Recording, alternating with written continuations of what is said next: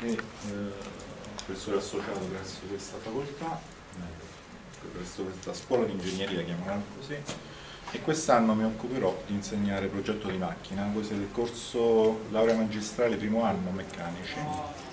Okay. C'è ancora qualcuno del secondo anno ragazzi? Vecchi? No, siete tutti primo anno.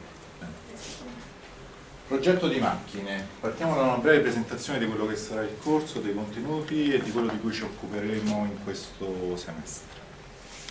Fondamentalmente l'obiettivo è quello di approfondire la conoscenza dei processi che siano appunto nelle macchine a fluido, in particolare, in particolare tra tutti gli svariati tipi di macchine a fluido che ben ricorderete, che avete già visto nel corso di macchina da triennale, noi ci occuperemo delle turbomacchine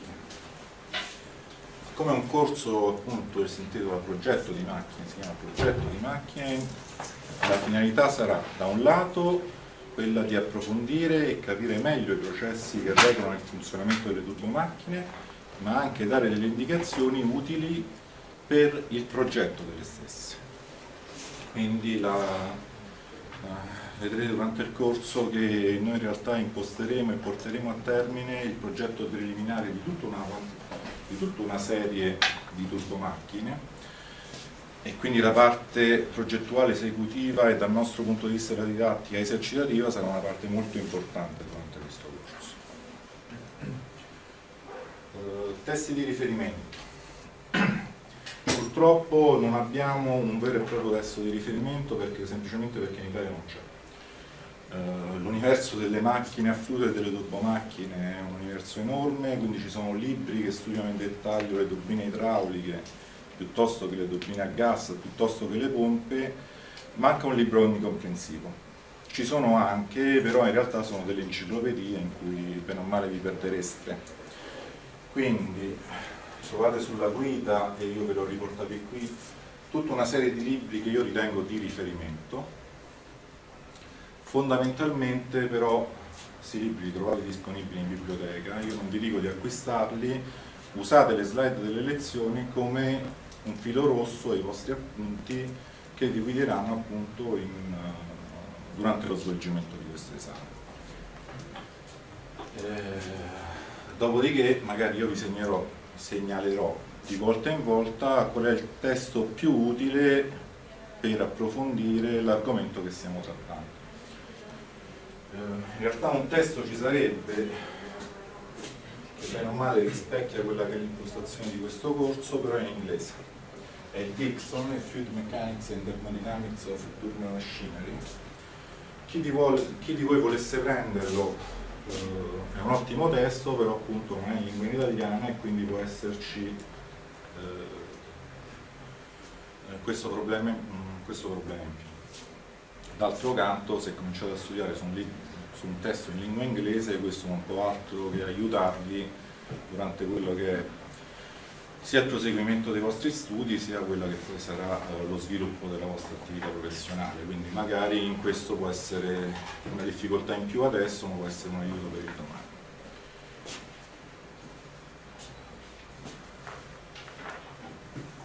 Contenuti, di cosa ci occuperemo in questo corso? Appunto, turbomacchine, progetto di turbomacchine.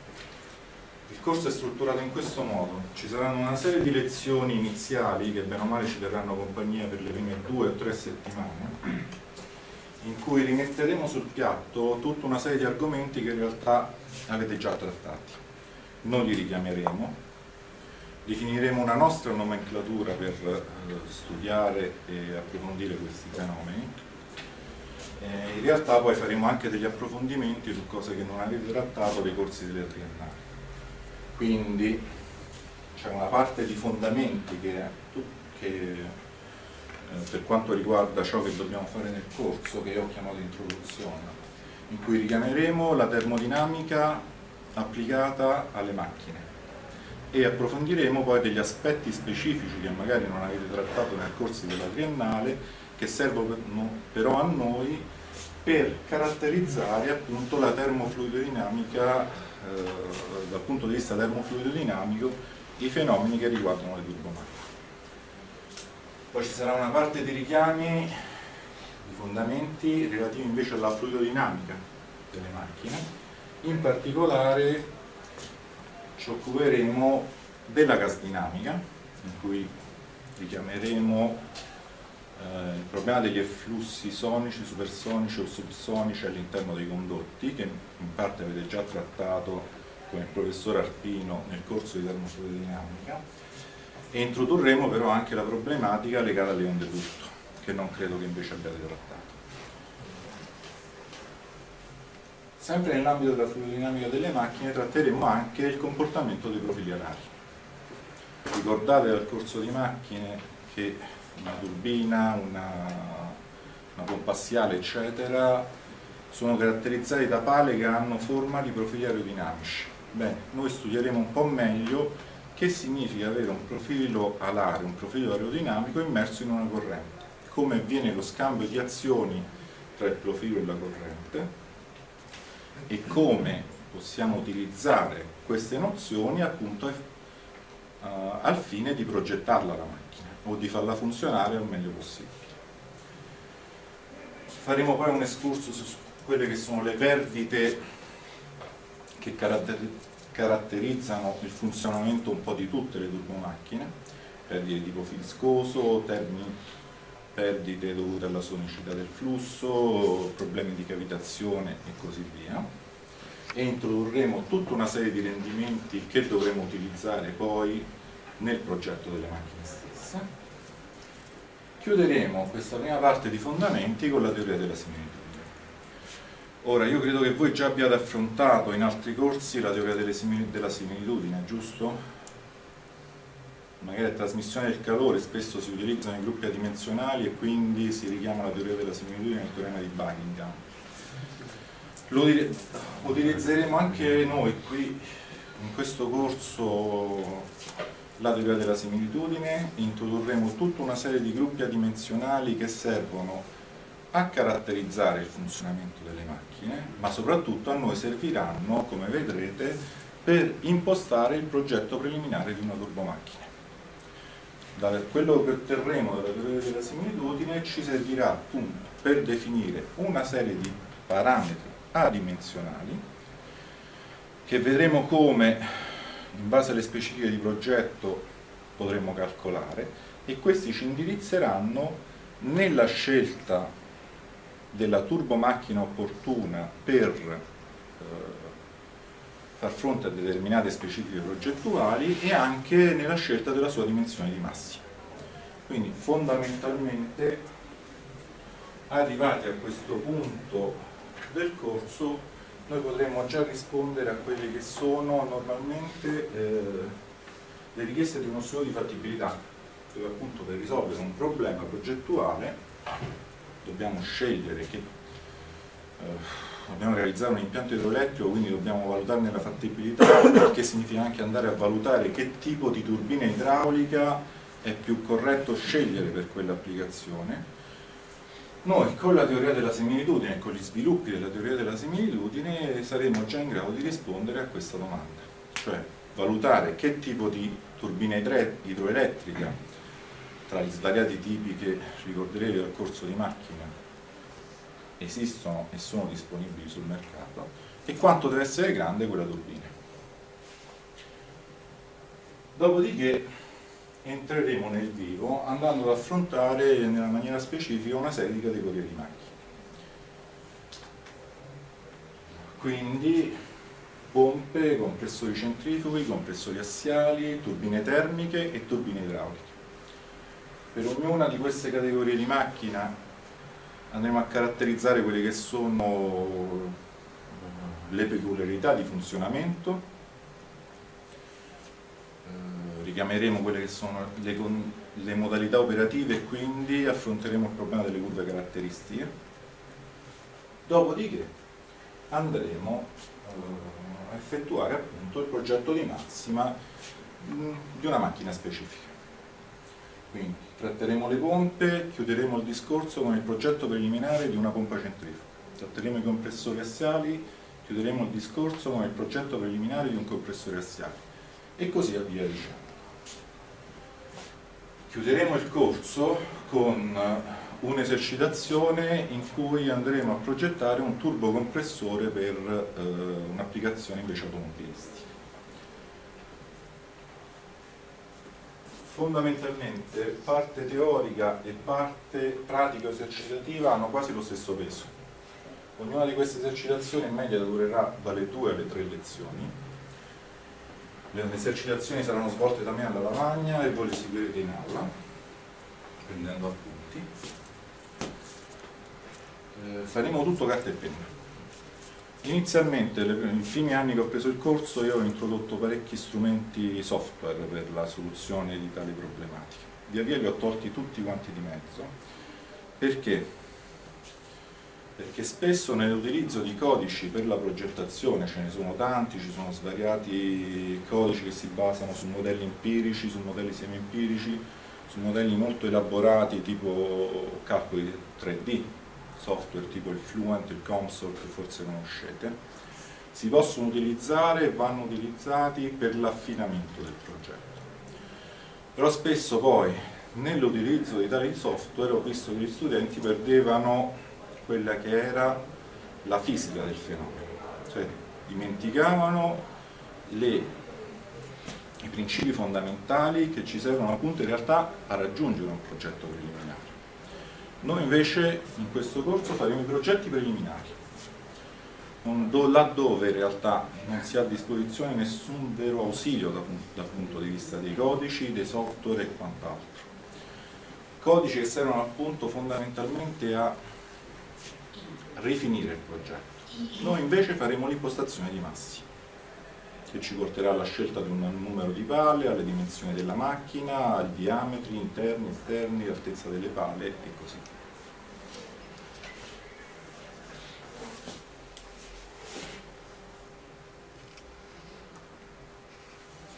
modalità d'esame, prova scritta e prova orale, visto che il corso è progettuale la parte scritta è fondamentale.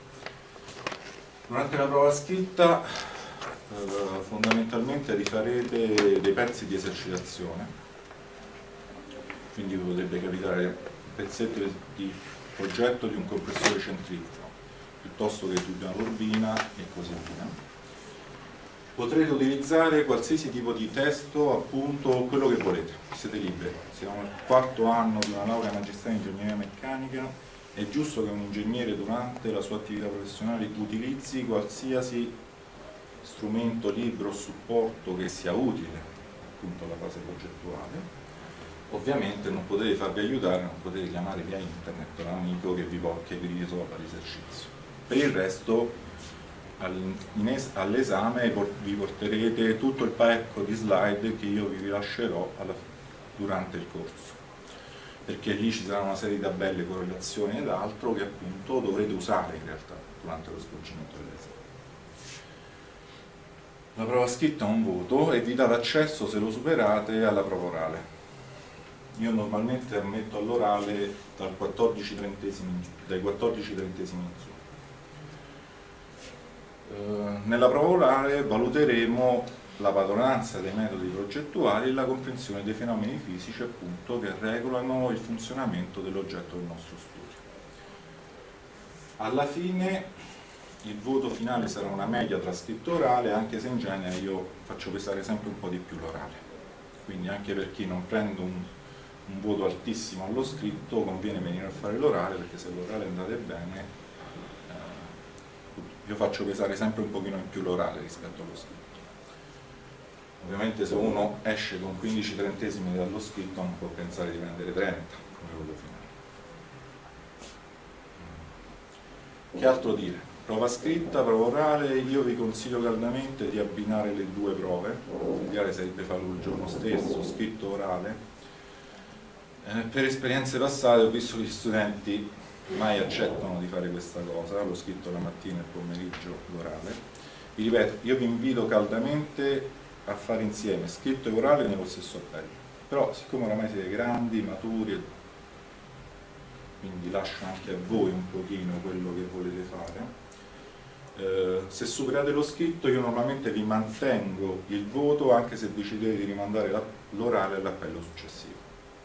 Evitiamo di, di creare strascichi però attraverso l'anno perché poi diventa una cosa abbastanza antipatica ok?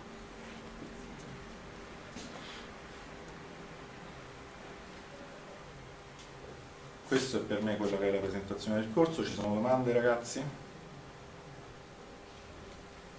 allora l'orario va bene a tutti?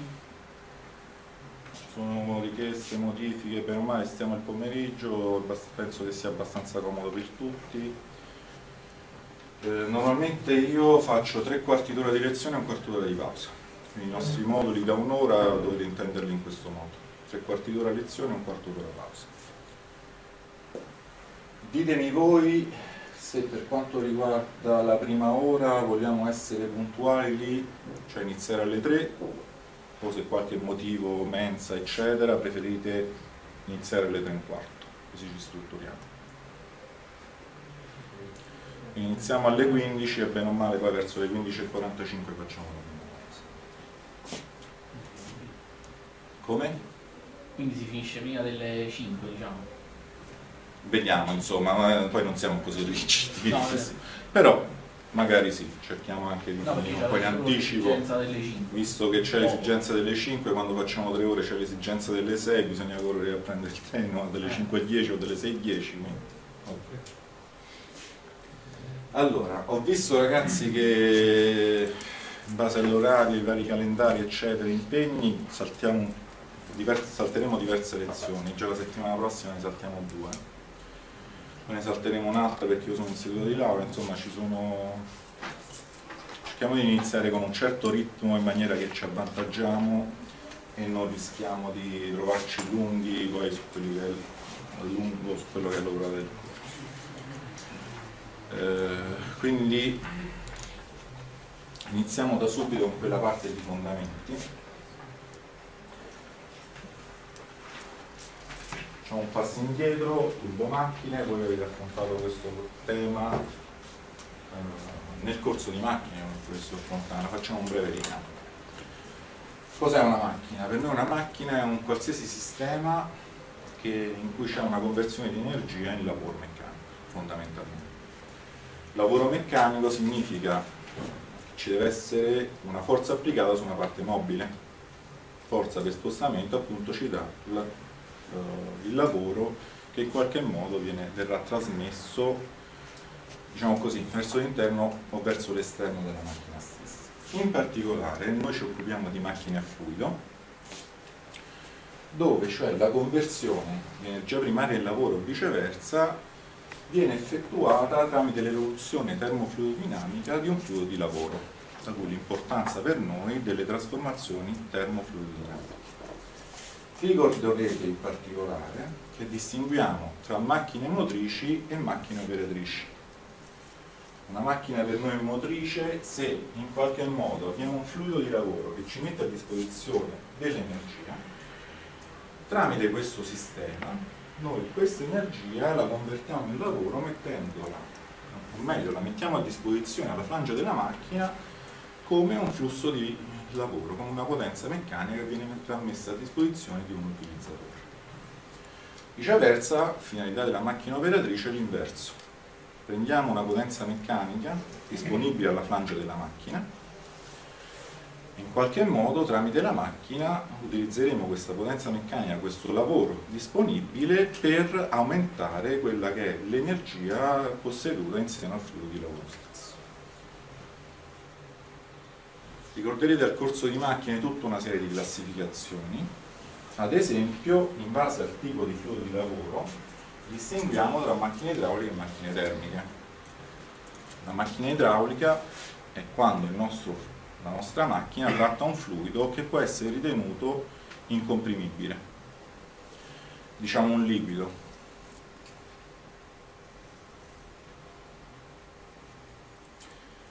in realtà noi abbiamo a che fare con, uh, avremo a che fare sempre con variazioni di pressioni, quindi il discorso della comprimibilità e della comprimibilità la dobbiamo fare in base a quanto si modifichi la densità del fluido sulla base delle variazioni di pressione che vengono indotte insieme al fluido stesso. Da questo ricorderete che esempio che fluidi comprimibili e incomprimibili noi dobbiamo distinguere che cosa? I flussi comprimibili dagli flussi, dai flussi incomprimibili, giusto? Vi ricordate qual è la discriminante? Quando è che un flusso può essere ritenuto comprimibile e quando è che invece, cioè può essere approssimato come incomprimibile quando è che invece un flusso non possiamo trascurare le variazioni di densità che si associano alle variazioni di pressione? Il numero di Mach. In base al numero di Mach, fondamentalmente. Non, in genere si prende come discriminante 0,3. Sotto lo 0,3 avremo a che fare con flussi dove appunto possiamo trascurare le variazioni di densità, sopra invece ne dovremo tenere conto. Normalmente abbiamo a che fare con turbine eoliche, trattiamo aria, ma possiamo bellamente trascurare la varietà del la variazione di densità dell'aria e quindi considerare la macchina veramente come se fosse una macchina idraulica. Ci sono dei casi in cui invece trattiamo acqua ma non possiamo trascurare il fatto che l'acqua è comunque fluido comprimibile e quindi dovremo considerare la comprimibilità anche in, in quel caso. Uh, dal corso di termofluidodinamica che avete fatto lo scorso semestre, se richiamate alla mente le navi Stokes e le equazioni che governano il flusso, ricorderete che c'è una, una, differenza molto importante tra fluidi comprimibili nel caso in cui dobbiamo ritenere il fluido comprimibile e nel caso in cui lo possiamo approssimare come incomprimibile, addirittura non dilatabile, quindi un fluido effettivamente a proprietà costanti, ρ uguale costante cioè le equazioni di conservazione del momento della quantità di moto si disaccoppiano dall'equazione dell'energia. I due problemi possono essere risolti in maniera indipendente e questo da, semplifica molto lo studio dell'efflusso in generale, delle turbomacchine idrauliche in particolare. Eh, proprio perché eh, non c'è il problema appunto di risolvere in contemporanea il problema termico con il problema meccanico, con la risoluzione delle equazioni della conservazione della quantità di moto. Quindi in generale possiamo dire che eh, nelle macchine idrauliche, a meno delle degradazioni ovviamente, noi avremo sempre conversioni di energia meccanica in altre forme di energia meccanica. Nelle macchine termiche invece avremo a che fare eh, con trasformazione di energia meccanica in energia termica, nel senso che dovremo chiamare continuamente in conto anche quella che è l'energia interna del fluido, quindi l'energia interna o l'entropia, come vedete.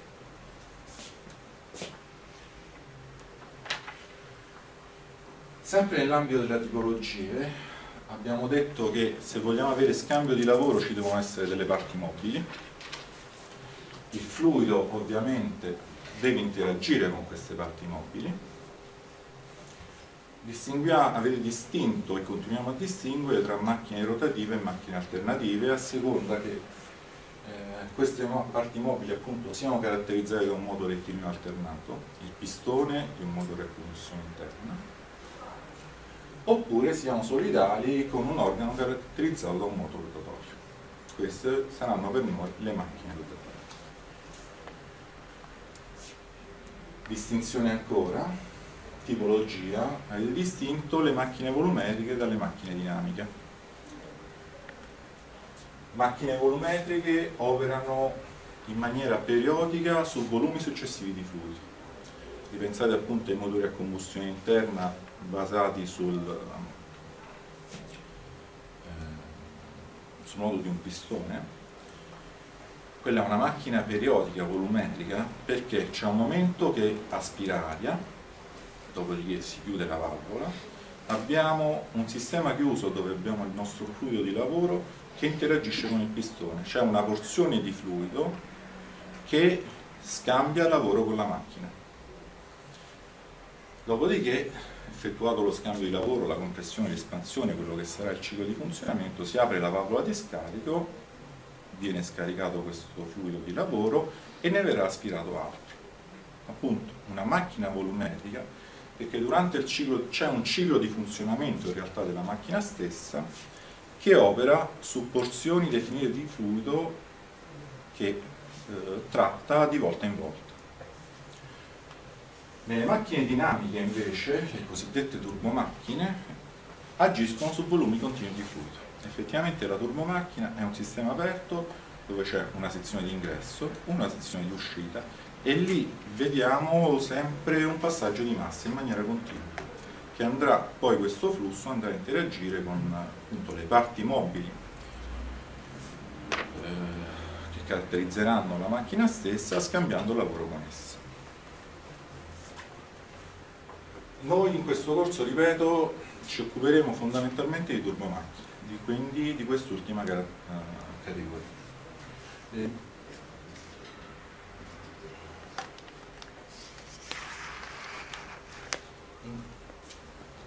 Mm, una grossa distinzione che caratterizza, che può essere fatta tra le due macchine, riguarda il fatto che, appunto, pensate al motore a combustione interna, aspira e racchiude all'interno del cilindro una certa massa, dopodiché questa interagisce con un pistone che si sta muovendo, comprimerà o farà espandere questo fluido, questa massa è ferma all'interno di, di, quello che è il volume di controllo che possiamo considerare, è ferma all'interno del cilindro. Stando ferma c'è il tempo di farle scambiare calore con le pareti del cilindro stesso, nessun sistema è adiabatico perfetto. Nel caso di una macchina volumetrica in genere gli scambi di calore devono essere ben considerati non possono essere trascurati. Nel caso della macchina dinamica invece, nella turbomacchina, il flusso attraversa in maniera continuativa la macchina e si muove all'interno di essa con una certa velocità, in genere anche piuttosto sostenuta. Normalmente, se andiamo a vedere il tragitto fatto da ogni particella di fluido, il suo tempo di residenza all'interno della macchina è piccolo e trascurabile rispetto al tempo che è necessario per far avvenire scambi di calore che siano significativi. Questo è il motivo per cui già nel corso di macchine voi avete fatto sempre l'ipotesi macchina, turbomacchina uguale sistema diabatico. Trascuro gli scambi di calore. In realtà non è che non ci sono scambi di calore. Non c'è abbastanza tempo per farli avvenire in maniera significativa. Quindi sono trascurabili le quantità di calore scambiato tra fluido e parete della macchina rispetto invece a quelli che saranno gli scambi di lavoro per cui la macchina è stata, che la macchina è stata progettata e realizzata. Quindi di fatti anche noi in questo corso, perlomeno a meno di casi molto particolari, faremo sempre l'ipotesi di adiabaticità della trasformazione del fluido. Okay? Deriva effettivamente da questa considerazione. Quindi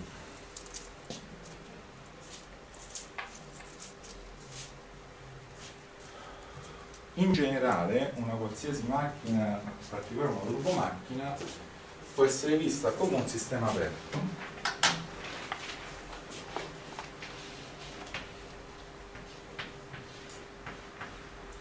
il quale possiamo definire un volume di controllo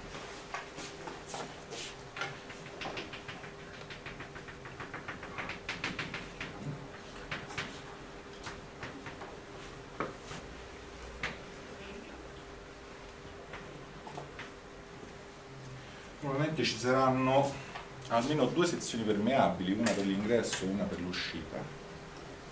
Vedremo appunto fluire in maniera continuativa una certa portata attraverso questo volume di controllo che racchiude la nostra macchina o porzioni significative di esse, elementi di esse. E su questo noi possiamo andare a scrivere le equazioni di bilancio, le equazioni generali che regolano i processi termofluidici conservazione della massa, conservazione della quantità di moto, conservazione dell'energia. Partiamo dal bilancio di energia. Bilancio di energia perché bilancio? Perché non abbiamo a che fare che fenomeni, con fenomeni che riguardino tra virgolette la produzione o la distruzione di energia, per noi l'energia si conserva, al limite si converte da una forma in un'altra. Quindi se noi focalizziamo l'attenzione su un certo volume di controllo, se l'energia che è contenuta all'interno di essa varia, è perché se varia ci sarà uno squilibrio tra flussi di energia che vanno dall'ambiente verso l'interno del sistema e flussi di energia che viceversa il sistema cede all'ambiente stesso. Con quali sono i flussi di energia che dobbiamo considerare? Dobbiamo considerare se il sistema è aperto ogni elementino di massa che entra all'interno del sistema porterà con sé la propria energia interna, la indichiamo con U minuscola, la grandezza specifica,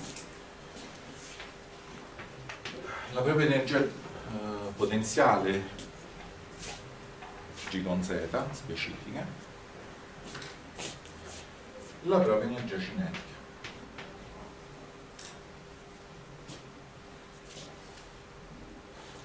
Dopodiché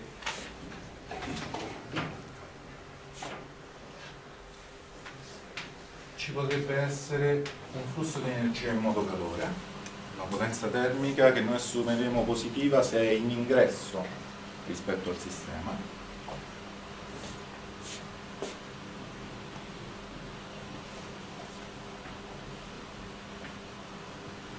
Ci potrebbero essere delle parti mobili e sicuramente ci saranno se trattiamo le turbomacchine all'interno del nostro volume di controllo attraverso il quale appunto si possono realizzare degli scambi di potenza meccanica e quindi ci saranno dei flussi in modo lavoro che noi riterremo positivi se il lavoro è in uscita dal sistema, quindi è il sistema che fa un lavoro verso l'ambiente esterno.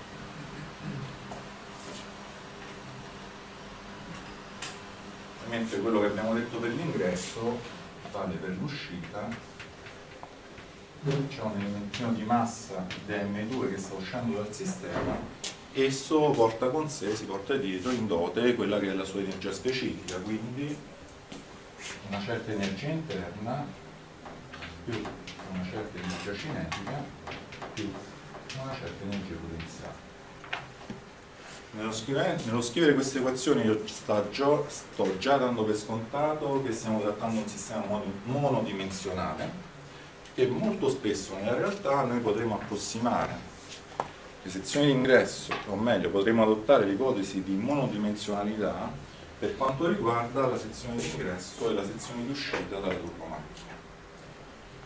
Quindi riterremo sulla sezione del condotto superficie con 2 o di superficie con 1 attraverso eh, superficie permeabile attraverso il quale viene il passaggio di massa riterremo costanti velocità e proprietà del fluido.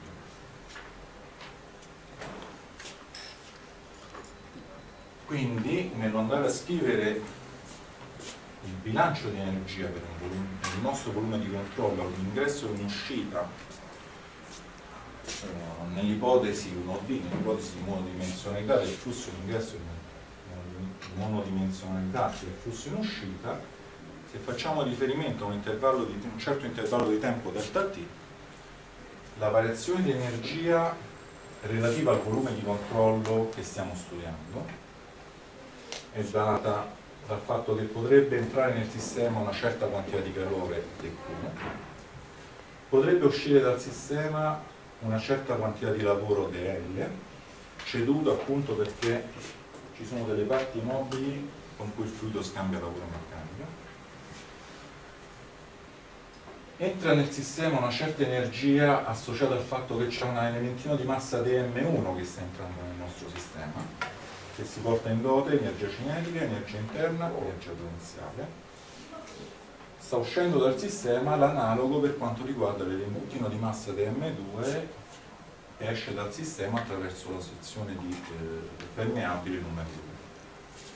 Dopodiché dobbiamo anche considerare che il lavoro scambiato dal sistema con l'ambiente esterno non è solo quello tecnico, ma se ci sono delle superfici permeabili attraverso il quale c'è passaggio di massa, dobbiamo andare a considerare anche il cosiddetto lavoro di pulsione. Cioè, per far entrare o uscire massa dal sistema, qualcuno deve eh, compiere un certo lavoro. Di fatto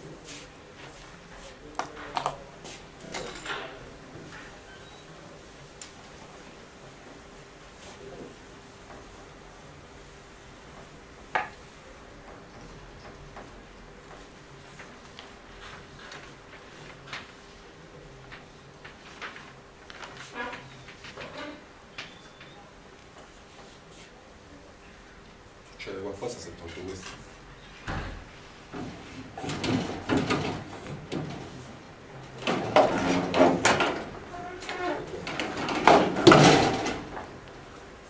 Di fatto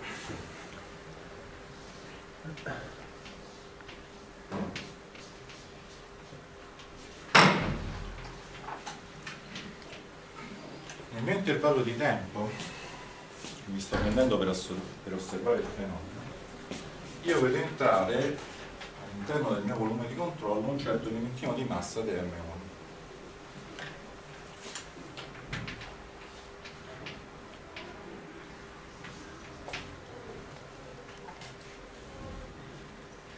che compie quindi avrà lungo quella che è la scissa curvilínea del condotto che prende come riferimento la lunghezza di x1 avrà quindi questo elementino di massa sarà caratterizzato da un volume del V1 pari alla superficie della sezione del condotto A con 1 per dx 1 ora però devo considerare che qui per entrare all'interno del sistema bisogna vincere quella che è la resistenza della pressione di comune. Quindi deve essere vinta la risultante delle azioni della pressione F con 1 pari a P con 1 per A con 1 in altre parole se voglio spingere dentro tutto il mio elementino di massa lungo dx con 1 deve essere speso un lavoro che chiameremo lavoro di pulsione, o meglio che avete già chiamato lavoro di pulsione, pari alla forza applicata sullo spostamento, ossia F con 1 per dx con 1.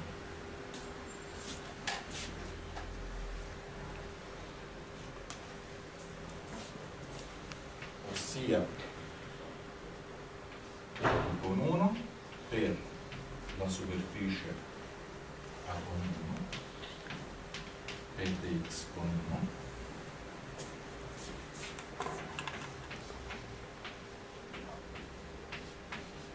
P con 1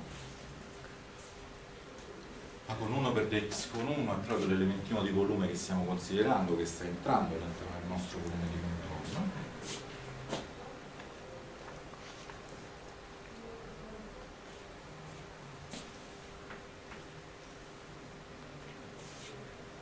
Ci ricordiamo la definizione di volume specifico. Il volume specifico è il rapporto tra il volume occupato da una certa massa e la massa stessa. Quindi questo lo possiamo descrivere come P con 1 per V con 1 per la massa di M1 che sta entrando all'interno del sistema questo è, un lavoro di, è il lavoro di pulsione che deve essere speso per far entrare questo elementino di massa all'interno del nostro volume di controllo. In maniera analoga possiamo farci i conti per quanto riguarda le uscite, l'uscita, la sezione di uscita, otterremo un termine P2, V2 per DM2. Ora, questo lavoro chi lo fa? Nel bilancio che stiamo scrivendo, questo è in ingresso rispetto al nostro sistema o in uscita?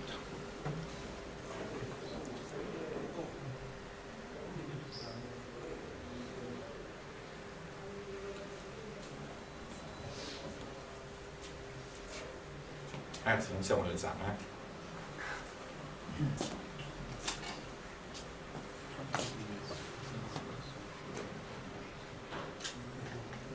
Noi quando scriviamo un bilancio di energia, alla fine lasciamo stare le regole dei segni. La cosa fondamentale è che va con il segno più tutto ciò che sta entrando, nel, tutto il, qualsiasi contributo energetico che sta entrando nel mio volume di controllo, nel mio sistema. Andrà con il segno meno tutto ciò che sta uscendo. Quello che dobbiamo capire, questo è un lavoro che è fatto dall'ambiente, dall'esterno sul sistema o dal sistema sull'ambiente esterno? Mm? Abbiamo due versioni.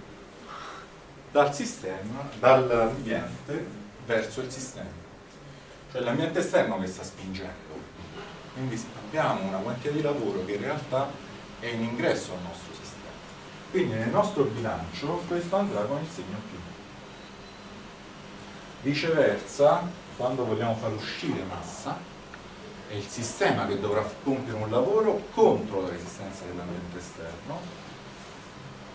Lui che sta facendo un lavoro andrà con il segno meno rispettando poi la regola dei segni che abbiamo portato fisicamente lo potete anche vedere in questo modo. Dimentichiamoci che qua giù c'è un'uscita riguardiamo soltanto questa porzione che io qui ho disegnato quando questo elementino di massa che sta entrando lo potreste anche vedere come un pistone che in realtà sta comprimendo tutto quanto il sistema. Perché appunto per riceverlo il, cioè il, sistema, il mio sistema per ricevere questo elementino di massa in qualche modo deve comprimersi deve essere compresso dall'esterno. Quindi è come se aveste a che fare con un cilindro dove c'è un pistone che si abbassa. In quel caso è l'ambiente che sta facendo un lavoro sul sistema e voi considerate il contributo come positivo. Quando invece l'elementino esce è come se il corsoio nel vostro sistema chiuso, cui siete ben abituati, si sta alzando e il vostro sistema si espande, quindi sta compiendo un lavoro verso l'esterno e voi quel contributo lo segnate nel bilancio di energia come negativo, che appunto è il vostro sistema che sta compiendo un lavoro eh, che sta compiendo un lavoro. Quindi il nostro bilancio di energia completo, se consideriamo monodimensionale il flusso in ingresso e in uscita di queste due sezioni permeabili che io ho utilizzato per il volume di controllo, si scrive in questo modo, dove questa è la quantità di calore scambiata e questo è quello che avete chiamato lavoro d'elica scambiato, cioè il lavoro scambiato dal fluido con qualche parte mobile che è contenuta all'interno del nostro sistema di controllo.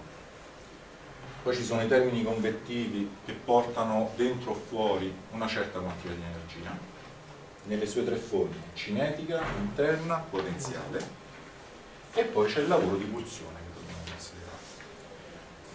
Lavoro di pulsione che appunto poi andiamo a specificare in questo modo, P per V per l'elementino di massa. Perché ci fa il gioco specificarlo in questo modo? Perché a questo punto raggruppiamo i vari termini, mettiamo in evidenza la massa di M1 che sta entrando, mettiamo in evidenza la massa di M2 che sta uscendo, quindi questo prodotto P1 per V1, se ne va insieme i termini U con 1 più C1 quadro mezzi più GZ1 in maniera analoga per quanto riguarda il prodotto pressione volume d'uscita. A questo punto ci ricordiamo che in termodinamica definiamo entalpia la somma tra l'energia interna e il prodotto pressione volume specifico. Entalpia anch'essa una grandezza di stato come l'energia interna, riscriviamo in maniera un po' più comoda il bilancio di energia in questa forma la variazione di energia associata che riguarda il mio sistema, la variazione di energia del sistema è data da quanto calore sta entrando, quanto lavoro tecnico di elica, noi lo chiameremo semplicemente lavoro dove un po', d'ora in poi sta uscendo, dai flussi convettivi dove non compare più l'energia interna, ma comparirà direttamente la grandezza entropia. In questo modo teniamo conto implicitamente di quello che è il lavoro di pulsione che d'ora in poi non vedremo in più trattando i sistemi aperti. Basta utilizzare questa sorta di scamotaggio, sostituire l'energia interna o meglio questa somma con questa grandezza termodinamica che chiamiamo intervallo. Ora, nell'ipotesi che abbiamo fatto appunto di poter ritenere monodimensionale il flusso alla sezione 1 e alla sezione 2, questo è un bilancio di energia valido qualunque siano le condizioni. Sistema dovrebbe essere un sistema transitorio, è il bilancio di energia da, da utilizzare, la forma da utilizzare, se vogliamo studiare il transitorio di una macchina, o di un elemento di una macchina. Dove ricordate sempre, primo membro dovete considerare l'energia interna, non l'entalpia. Membro c'è la variazione di energia interna al sistema. Al secondo membro, nei flussi convertivi di energia, c'è l'entalpia. Ora, noi in genere studieremo il funzionamento stazionario della macchina perché in quello che è il progetto preliminare appunto si, riferimento, si fa riferimento alla sua, alla sua condizione di funzionamento a regime quindi condizioni stazionarie significa che nel volume di controllo non varierà l'energia interna con il tempo. Significa che tutto ciò che entra non varia neanche la massa quindi tutto ciò che entra in termini di massa deve anche uscire. Dm1 deve essere uguale a dm2 la variazione di energia interna al volume di controllo del mio sistema deve essere pari a 0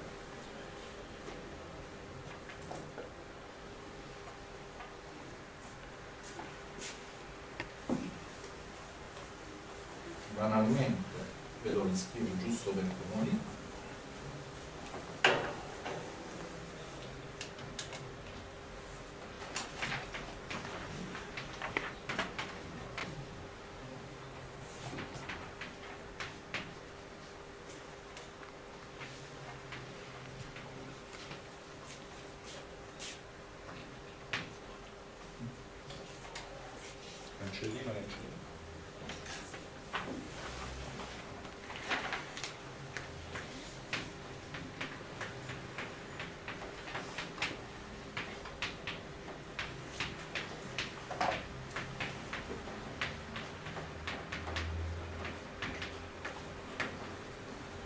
questa diventa la nostra scrittura dell'equazione dell'energia sistema stazionario, ingresso e uscita monodimensionale. Andiamo a dividere per dm passiamo alle grandezze specifiche. Fin qui quindi le unità di misura erano joule calore, lavoro per vari altri termini. Dividiamo tutto per dm passiamo alle unità di alle grandezze specifiche riferite all'unità di massa, in questo caso all'unità di massa che sta attraversando il sistema. partiamo dall'altro membro, otteniamo Q meno R pari a 2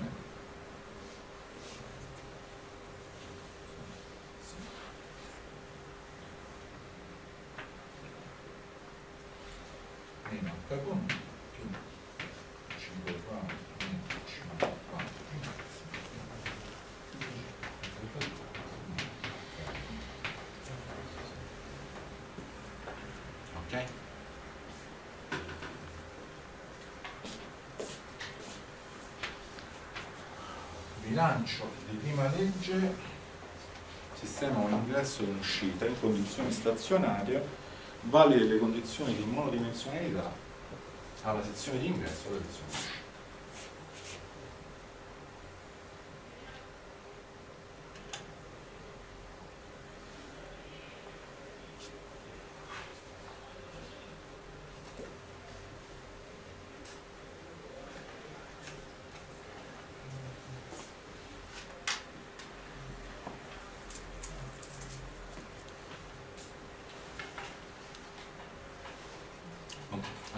facciamo un quarto d'ora di pausa ragazzi faremo un'altra mezz'oretta e poi oggi ci fermiamo. Ci vediamo dalle 4 a un quarto